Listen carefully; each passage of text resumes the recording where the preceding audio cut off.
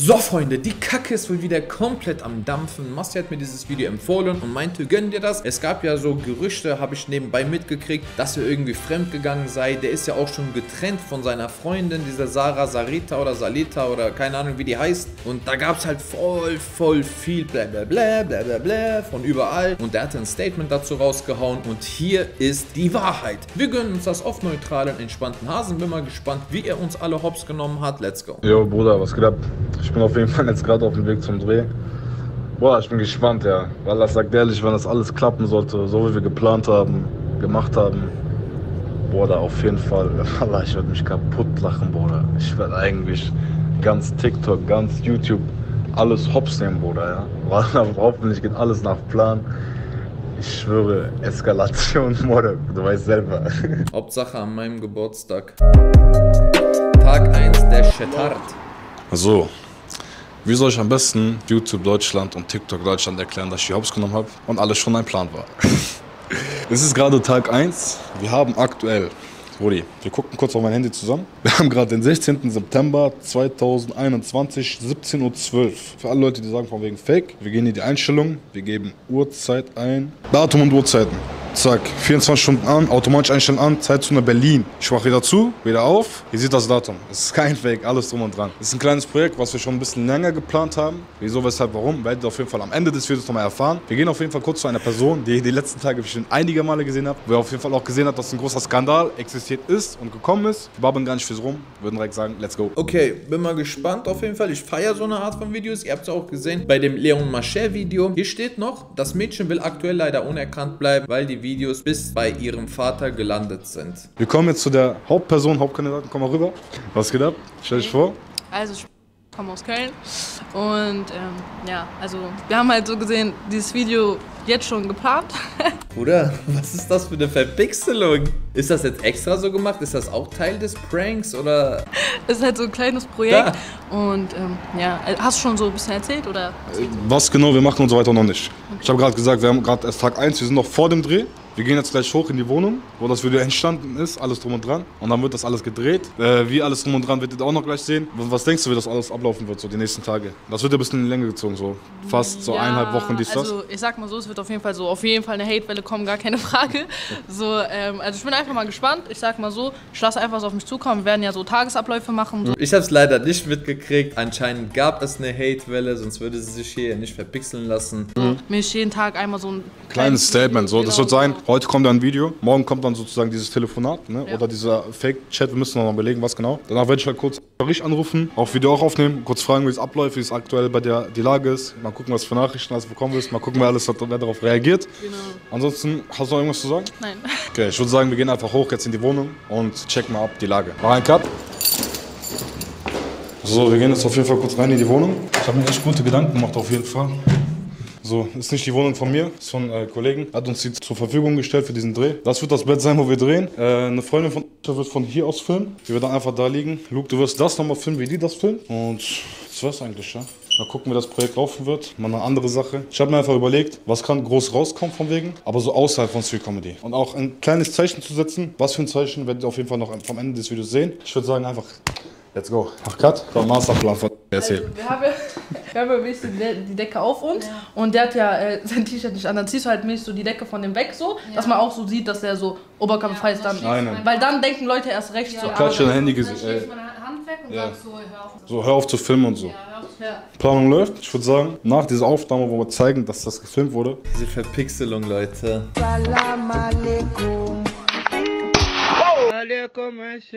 Und erstmal das richtige Video an, was ihr da wahrscheinlich alle gesehen habt. Aber so, wir haben jetzt alles vorbereitet, Bruder. Ich habe sein T-Shirt Wir an. haben mein T-Shirt angezogen, ich habe mein T-Shirt ausgezogen. Da sind noch Schuhe extra, Filmer, Digga.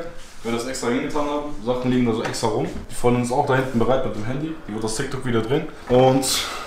Ja. Ja, Mann. Spaß, wir machen Cut, reicht. Du mir noch mal das Handy weg? Ich hab gelacht am Locken, ja. Wohl passiert ist. Und wenn die beide haben, Und dann kann man aus, ne? Versuch Nummer 3 am Wie kriegt das nicht hin, das zu filmen, Digga? jetzt? Ja. Was hier wohl passiert ist. Und der liebe Berhan. Mama, das ist ja weg. Mein Handy hast du so Hast du wieder genuschelt? Hast Was hier wohl passiert ist. Und der liebe Berhan. Mama, das ist ja weg. Vor allem, ja, einer, du bist am Schlafen, einer kommt mit Handy, du guckst erstmal, der weiß schon Bescheid. Ah, Bro. Video ist fertig. Wo ist mein T-Shirt, Mann?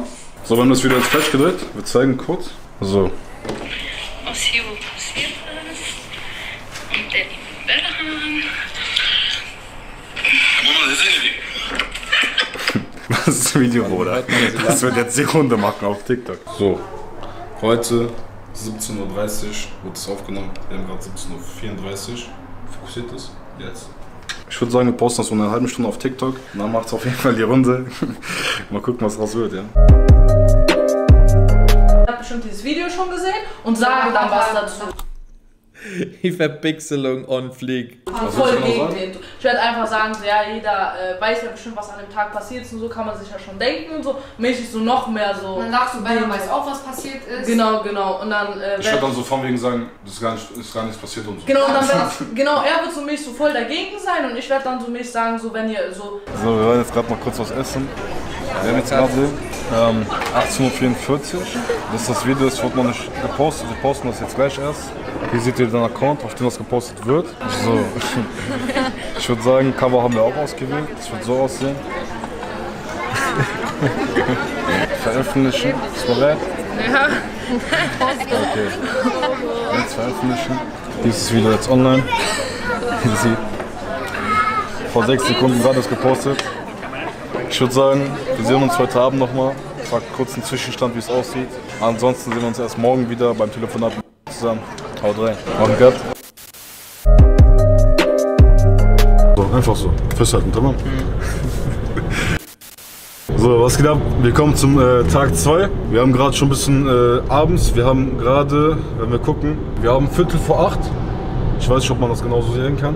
Ähm, es ist jetzt Tag 2, so, äh, der erste Tag, seitdem das Video online ist. Äh, das Video ist nicht so viral gegangen, wie, wie, wir, wie wir uns erhofft haben. Äh, es hat aktuell, wie ich mal gucken kann, 18.600 Klicks. Äh, ist nicht so viral gegangen, wie ich mir dachte. Ähm, ich hoffe natürlich, dass die Leute nicht checken, dass alles gespielt ist, weil wir wollen ja sozusagen, dass es so rüberkommt, von wegen, dass es äh, nicht gespielt ist und es Bro, dann hättest du nicht so reagieren müssen. Da hättet ihr 10 Versuche machen sollen. Wenn einer so macht bei dir, du wirst gerade wach, so, hä, was geht ab? Und du siehst dann eine Kamera, dann braucht man erstmal ein, zwei Sekunden. Man macht nicht so, ey, mach die Kamera weg, weißt du? Fürs nächste Mal. Aber die Idee dahinter ist in Ordnung, kann man machen. echt wäre. Ähm, sorry, falls ein bisschen wackelt, der Kollege hält gerade mit der Hand fest, deswegen. Ähm, ich würde sagen, wir rufen und sagen euch zusammen, äh, wie die nächsten Schritte von uns sind. Kleinen Moment. Jo, Ja, was geht ab? Alles fit? ja, bei dir? Auch, auch. Und wie ist der erste Tag? Ja, soweit ganz okay. Also es hat auf jeden Fall gestern Nacht sehr viel die Runde gemacht. Also anfangs war tot, Okay. aber jetzt geht es auf jeden Fall ab. Also es gibt auch einige, sag ich mal, Follower, die mich folgen wollen, aber haben mich über privat gestellt. Hast du, ähm, hast du Dinge, wie heißt das? Hast du Nachrichten bekommen oder so? Nein, jetzt noch gar nichts. Also Ja. nur die Kommentare, die da drunter geschrieben worden sind. Okay. Aber Nachrichten noch gar keine. Okay. Ich werde sie jetzt gleich ungefähr so zehnmal anrufen oder so. Sie wird das alles äh, aufnehmen, wie ich die anrufe.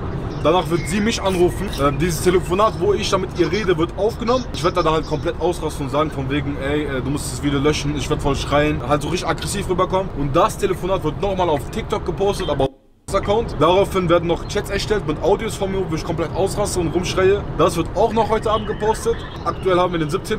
Morgen, was machen wir morgen? Erzähl. Äh, genau, morgen werde ich dann, also wie gesagt, wie Bernhard schon gesagt hat, heute werden wir die Videos auf jeden Fall erstmal auf TikTok wieder reinstellen. Morgen werden wir dann auf jeden Fall mit, denke ich mal, Instagram und TikTok Stories anfangen. Ja. Wo wir da dann halt auch nochmal, sag ich mal, ein bisschen gegen, gegenseitig so beefen werden. Also Bernhard wird es erstmal alles abschneiden. Ich werde alles, sag ich mal, zugeben, dass das alles angeblich stimmt. Genau. Das Ding ist, es muss nur ein Video viral gehen und danach wird eigentlich schon alles automatisch viral gehen. Also jedes Video was dann. Eins wird auf jeden Fall hoffentlich mal viral gehen, falls nicht, wird es richtiges Fail, dieser, dieses ganze Projekt. Aber ich hoffe mal, wir kriegen das hin. Ansonsten würde ich sagen, wir sehen uns auf jeden Fall gleich beim Telefonat, wenn ich Aisha anrufe und dann halt so tun muss, als ob ich komplett ausraste. Äh, wir haben gerade den Chat mit äh, gefaked. Wir haben hier so geschrieben halt, hey, ich find's besser an das Video. Was sind das für Videos, was deine Post äh, Freundin... Die Verpixelung und dann ihr Namen so wegpiepsen. Man hört ihn einfach vorhin, Aisha, so, und dann wiederum wird's gepiepst, wiederum stärker. Oh Gott. Da postet, seid ihr behindert oder was? Ihr kleinen Pisser löscht das. Warte was ich mit euch mache. Da habe ich noch zwei Audios geschickt, wo ich schon ein bisschen rumgeschrien habe. Die saß von wegen löscht das, seid ihr krank?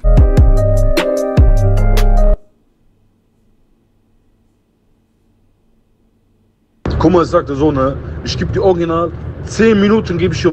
Habe ich noch geschrieben, denkst du, ich meine das ernst mit dir oder was? Äh, wollte nur mein, äh, wollte nur mein Spaß so Junkie. So extra provozieren. Wisst ihr, ich meine, damit ihr noch draußen mehr Husky habt auf mich. Ähm, sie ruft mich jetzt an. Da wird das genau gleich ablaufen. Ich werde nochmal komplett ausrasten am Telefon. Und dieses äh, Telefonat wird dann halt nach diesem Chatverlauf äh, entweder morgen oder heute noch in der Nacht gepostet. Ich würde sagen, wir zeigen das auch noch kurz rein und danach würde ich sagen, äh, zeige ich euch nochmal kurz die Ausschnitte von diesen TikTok-Videos. Dieses Telefonat wird jetzt das Telefonat, was aufgenommen wird. Du wirst sehen, wenn ich dich sehen werde. Tamam, du läufst mir sowieso auf dem Weg äh, in Köln oder sonst was. Warte einfach nur dann ab. Ich will nur sehen, ob du noch eine große Fresse hast vor mir. Tamam. Ich will noch sehen, dass du eine große Fresse hast vor mir. Tamam. Wenn du vor mir stehst, du wirst schon sehen, was ich mache mit.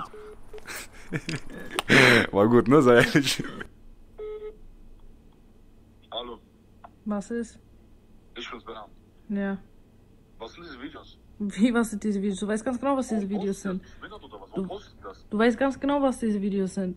Was, was, ist das, was, was ist dein Ziel damit? Sag mal. Was ist dein Ziel? Wirst du schon sehen, wirst du schon sehen, wirst du schon sehen. Nein, Weißt wirst du schon sehen. Ich rede dich groß, aber mach dein Ding, mach dein Ding, tamam, okay? Du wirst sehen, wenn ich dich sehen werde. Tamam, du läufst mir sowieso auf dem Weg äh, in Köln oder sonst was. Ganz ehrlich, du kannst machen, was du willst. Ich werde dich noch richtig. nur ich werde ganze Beweise auspacken. Ich werde ganze Beweise auspacken. Warte einfach, warte einfach. Ganze Welt, ganze Welt wird deine? Beweise sehen. Problem, eine Frau zu schlagen oder was, hä? Du bist sowieso keine Frau, du bist ein Mannsweib, Alter. Denk ich mal Was willst du? Was willst du? Ah, Hä? egal, egal, red so viel. Du willst, alle Du werden, alle werden auf jeden Fall sehen. ich- werde will alle Beweise posten. Du wirst sehen. So, das wird das Telefonat sein, was ihr da draußen sehen werdet.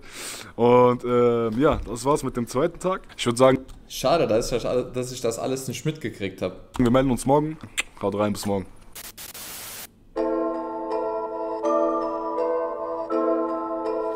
Habe ich jetzt nicht richtig gesehen, oder?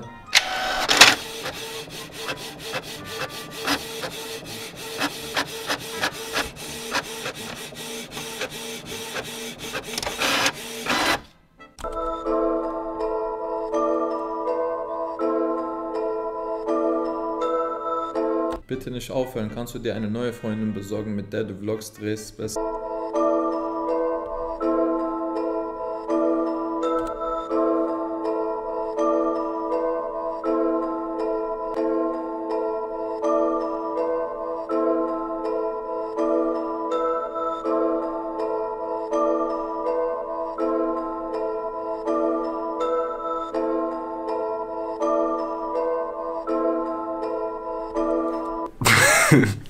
So, was geht ab? Aktuell haben wir den 26. Heißt, ist schon über eine Woche her. 10 Tage. Ich verstehe nicht, warum macht man sowas, wenn man sowieso schon einen schlechten Ruf hat? Date der auf diesen Hate? Ich habe, wie gesagt, nichts davon mitgekriegt. Auch nicht, dass Jan Kavia irgendwas dazu gemacht hätte. Wie gesagt, ich verfolge den ja nicht. Aber er hat denen ja quasi eine Steilvorlage gegeben diesbezüglich. Letzte Woche haben wir, glaube ich, gedreht. Das war am 17. oder am 18.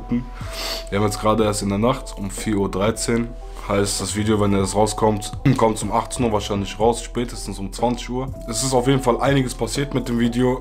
Es wurde von dem Account wieder runtergenommen, äh, weil von dem Mädchen das Vater das mitbekommen hat mit dem Skandal, weil eins von den drei Videos auf jeden Fall sehr viral ging. Und äh, die Mädels haben das von alleine dann wieder rausgenommen. Das Problem ist halt nur, ähm, dass wir das ganze Projekt dann eigentlich auflösen wollten. Aber äh, man muss bedenken, es gab so ein, zwei Accounts, die habe ich auch damals in meiner Story gepostet. Also damals heißt noch diese Woche in meine Story gepostet, ähm, dass ihr die melden solltet. die haben diese Videos gepostet. Also mussten wir sozusagen gezwungenermaßen dieses Projekt weiterführen. Da haben natürlich auch ein oder andere YouTuber noch darauf reagiert, ihren Senf dazu gegeben. In den Kommentaren natürlich haben auch ein oder andere kommentiert. Natürlich hat mir keiner geglaubt. Ist aber auch schwer zu glauben, wenn ich sage, dass es nur Gerüchte sind, wenn es schon ein Video dabei gibt äh, wo ich da so im Bett liege und so weiter. Was alles noch passiert ist, ich habe unzählige von Nachrichten bekommen von anderen Menschen da draußen, äh, die sozusagen wieder so mit Hate zu tun haben. Aber diesmal äh, musste ich mich eigentlich nur kaputt lachen, weil ich halt wusste, dass schon alles geplant war. Mein Fazit an euch da draußen ist eigentlich von der ganzen Sache nur, äh, wieso ich dieses Projekt jetzt gemacht habe, war eigentlich nur der Grund, um euch wirklich da draußen zu zeigen, dass ihr nicht alles glauben solltet, was ihr mit da draußen seht, weil... weil man es ja selbst hätte faken können, um damit viral zu gehen und Klicks zu generieren. Oder es küsst doch dein Herz, da ist doch keine Moral dahinter, was du gemacht hast. War einfach eine coole Idee, die du umgesetzt hast, die jetzt ein bisschen nach hinten geschossen ist, weil du warst halt auch vorbelastet und es war halt auch so aufgebaut wie bei einem Leon Mascher. Nichtsdestotrotz, allein, dass er mit so einer neuen Idee ankam, erfrischend, neu, konnte man sich geben. Es gehen immer mehr Videos von anderen YouTubern rum oder von allgemeinen Leuten halt, äh, die öffentlich was äh, zu leisten haben, so allgemein Leute der öffentlichen Person, gehen halt immer mehr Videos draußen rum und äh, es werden das gepostet, das gezeigt, dies gezeigt und das sind immer so Gerüchte, Gerüchte von A nach B. Das war jetzt bei mir auch ein paar Mal der Fall, aber von meiner Seite einfach so ein kleines, so ein kleines Geschehen, wo ich es wirklich auch zeige, dass nicht wirklich alles so sein kann, wie es auch draußen präsentiert wird oder auf Videos zu sehen ist oder sonst was, bis sich die Person halt wirklich draußen geäußert hat. Es haben einige geahnt, dass es geschauspielert war von meiner Seite aus. Ja, diese Kommentare habe ich natürlich direkt gelöscht und löschen lassen, damit es halt nicht auffliegt, dass alles geplant war. Aber im Endeffekt an die ganzen Leute, die jetzt dachten, okay, es war wirklich so, was soll ich euch draußen sagen? Im Endeffekt seid ihr eigentlich in meinen Augen wirklich keine Menschen, die, äh, äh, sag ich mal, Geduld haben und irgendwas abwarten können, bis ich... Was hat das denn mit Geduld haben zu tun? Wenn es da Videobeweise gibt, ihr habt das doch gefaked und gestellt. Hä? Es ergibt überhaupt keinen Sinn. Nicht einen Prozent Sinn ergibt es. Ihr seht ein Video zum Beispiel von mir, wie ich jemanden kaputt schlage. Man sieht es so, als Video. Und ich lade dann ein Video hoch und sage so, das stimmt gar nicht, ich habe niemanden geschlagen. Und dann denken natürlich alle schlecht von mir, Bro, Bro, was für eine Geduld haben. Hä? Er hat doch selbst schon seine Antwort vor einer Minute gegeben. Es war halt alles zu sehen, alle Beweise, schwarz auf weiß. Wie kann man denn zehn Schritte vorausdenken und sich denken, ah, er hat das alles geplant? Ich wirklich mich dazu äußere. Es haben so viele Menschen irgendwas kommentiert von wegen, dass es alles stimmen würde und wer dann wirklich so drauf wäre und andere YouTuber sagen dies und sagen das und machen wieder Fitner. Daran sieht er auf jeden Fall das Gesicht von denen. Ich habe wirklich nicht mehr viel zu sagen von meiner Seite aus. Das war es jetzt mit dem ganzen Projekt. Ist nochmal gut gegangen. Es hat auf jeden Fall nochmal gut die Runde gemacht. Wieso äh, das Mädchen aus dem Video jetzt auf einmal zensiert ist und äh, der Name immer ausgepiepst ist, liegt daran, äh, dass sie am Anfang dachte des Projekts, dass es keine Probleme wäre für sie halt ähm, im Endeffekt aber ist das Problem gewesen, dass der Vater das ein bisschen mitbekommen hat und äh, aber das Ding ist jetzt auch, wenn wir das jetzt nicht durchgezogen hätten mit dem Projekt, sähe es halt wirklich so aus, als ob das echt wäre und da kann ich euch wirklich schon nicht beweisen, dass alles geschauspielert war und sozusagen geplant war, um euch da draußen halt dieses Fazit jetzt zu zeigen. So Freunde, das war der Prank von Bären TV, die Wahrheit zu dem aufgetauchten Video, von dem ich leider nichts mitgekriegt habe. War interessant, war erfrischend, kann man machen. Ich feiere so eine Art von Video. Ich habe aber gesehen, er hat ein sehr, sehr schlechtes Like-zu-Dislike-Verhältnis. Ich weiß nicht, warum das der Fall ist. Video war in Ordnung so. Wie gesagt, ich habe von den Sachen davor nichts mitgekriegt. Vielleicht könnt ihr mir da ein wenig weiterhelfen. Schreibt es mir unten in die Kommentare rein. Wir sehen uns dann im nächsten Video wieder. Bis dann und ciao.